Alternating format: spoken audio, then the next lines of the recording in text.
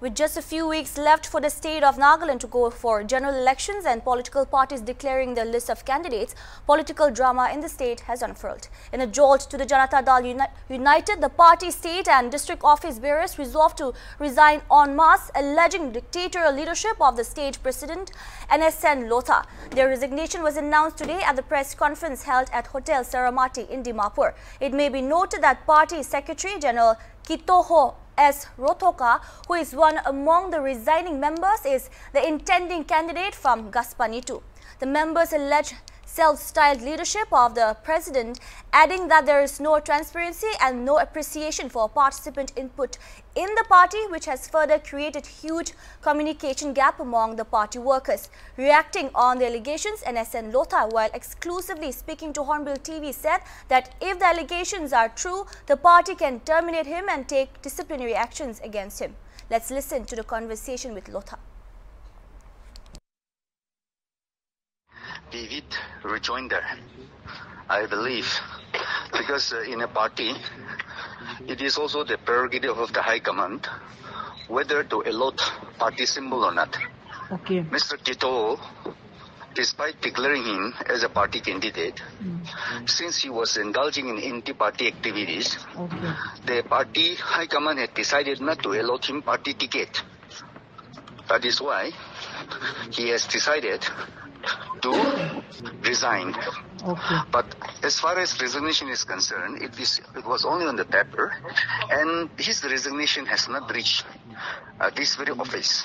Okay. So, since his resignation did not reach, it is also mean to say that he's still with the party, and the, and thereof the party has expelled him.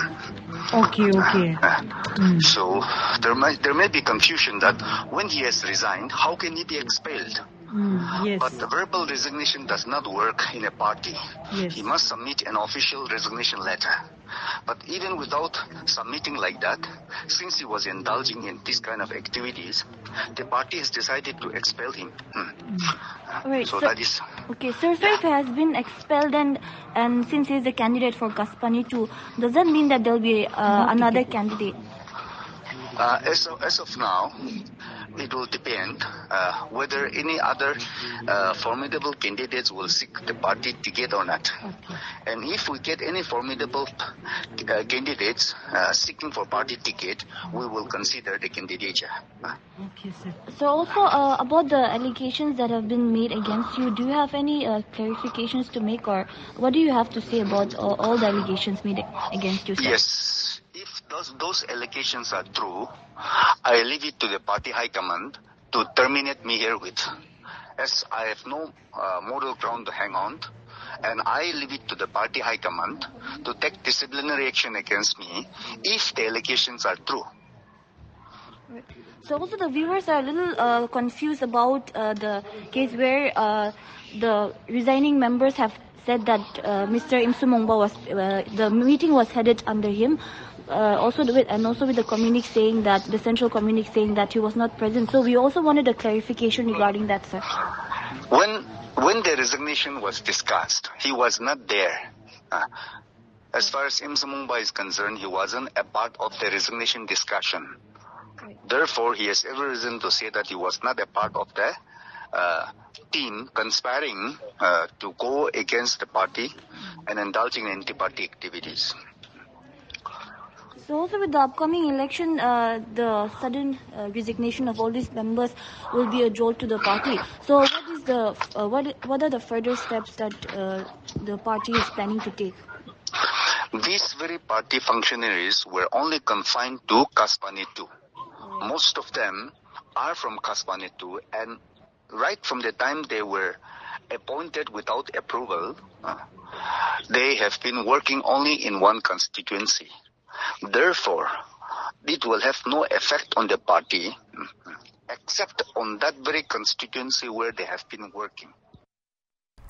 Now again in a drastic U-turn, the central body of the Janata Dal United has termed the resolution as unauthorized and not applicable. The central body in its notification has alleged that the Feb 2 meeting was not headed by the General Secretary Imsumongba Pongen as claimed by the resigning members and the letter is still a part of the JDU Nagaland. The central body went on to allege that except for the Secretary General Kitoho S. Rotoka, the other so-called state executive does not have the approval of the JDU national office and therefore called their appointments invalid and bogus. The central body of the JDU expelled Rotoka from the party and condemned his alleged anti-party activities. Now to discuss on this matter, we'll be joined by our colleague Al Nguli from the newsroom. Hi Al, can you hear me? Uh, too, I can hear you, yeah. Right, so Al, uh, this is uh, we could term this as a jolt to the Janata Dal unit and since all the parties are declaring their uh, final list of candidature, so what is the possible impact of this uh, controversy on the electoral chances of the JDU? Yeah, it was uh, very surprising that this event came about just when the state was about to start polling. And these events are actually not really surprising if you consider the political climate of the state and the way things have been working I think uh, in a way that we are not really shocked by these events because when you are talking about electoral gains, you're, you're talking about a lot of stake in it.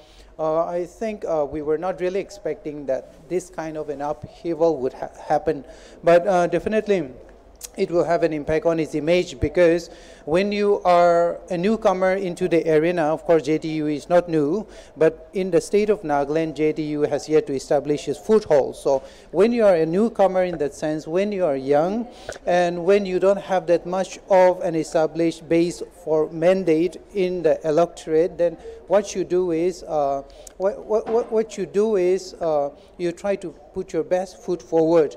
But in the case of the JDU, I think they, they started out on a little wrong footing there, and it might affect their image because people will think, oh, they're new and they don't have MLAs and they're joining the elections. They're trying to get a mandate of the people, but even before the election started, they have already done something wrong or something is already wrong in the party. So that is the kind of image that the electorate is going to have to. Also, if uh, it was really true that the leadership was uh, mismanaging the party or was being incompetent, what could be the reason that this issue is uh, being brought up only now? What do you ah, think? yeah, yeah. That's uh, like like I said before. I think this uh, this is something that's not very um, unusual in the electoral circles here, especially for any state that is going to the elections. Uh, first thing, uh, here we should know that it's not just about uh, political parties engage in stakeholding activities. They're not just activities that uh, that focuses on getting the mandate of the people. It's it's also interpolitical, inter-candidature, and of course uh, inter-community uh, stakeholding activities. So uh, it is it is it is also an opportunity. Frankly, it's also an opportunity for vested interests it could be from the community, it could be from the party workers, it could be within the political organization itself, that there would be vested interest. I'm not saying that those rebels in the JDU they were uh, they were uh, putting up this mutiny just because uh, you know they had no other grievance than to break away from the organiza uh, organization. I'm not saying that. What I am saying here is that elections also give opportunity to different different interests and sections of the political party to come up and air their opinions to claim their interests their visions so that so uh, they're, they're using these elections to also air their grievances. We don't know we haven't heard much from the JDU at this moment but they're taking this opportunity to air a grievance uh, uh, that that will garner more media space Moving on, uh, we'd also want to know, will, will the party denouncing the rebel statement and reported meeting affect the outcome of the JDU in its fight against the BJP in the constituency?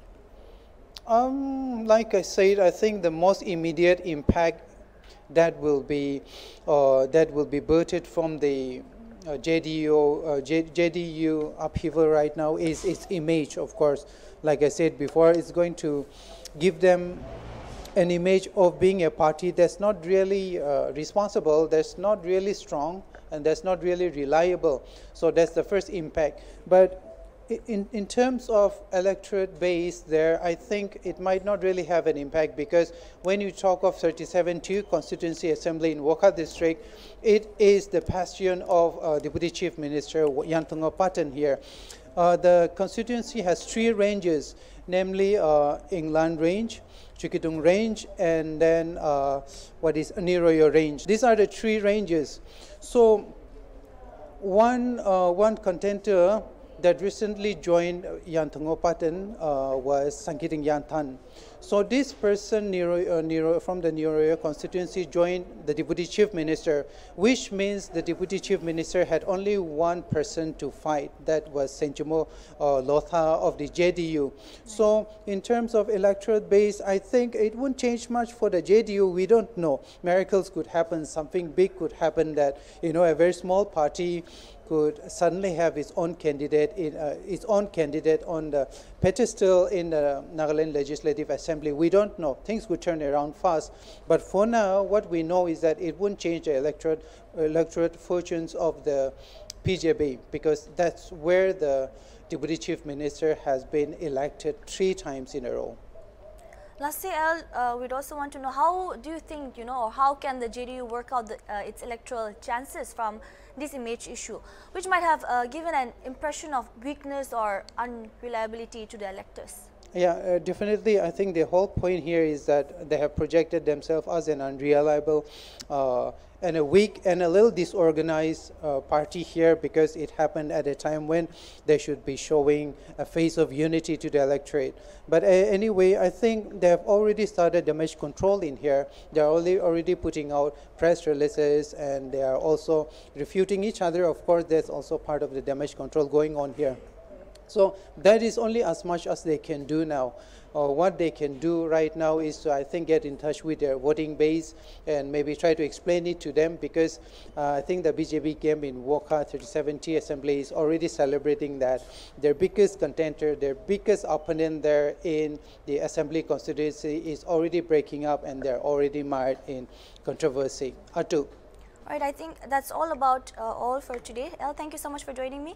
Thank you for having me, Atu. Right. Mentioned this is a big jolt for the JDU. The person who was alleged the president of the JDU is yet to release his uh, official statement and also sources have informed that central members of the JDU might be in the state now. I think that's about all.